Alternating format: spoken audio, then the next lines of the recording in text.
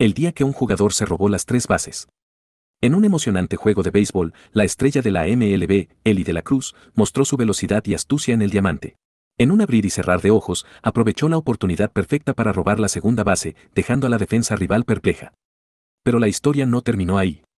Con un instinto audaz, Eli vio otra oportunidad y avanzó a toda velocidad hacia la tercera base, dejando a la multitud y sus compañeros de equipo asombrados.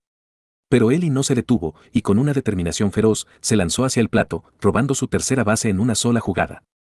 Fue un momento épico que no solo demostró su habilidad en el béisbol, sino también su valentía y determinación para llevar a su equipo hacia la gloria.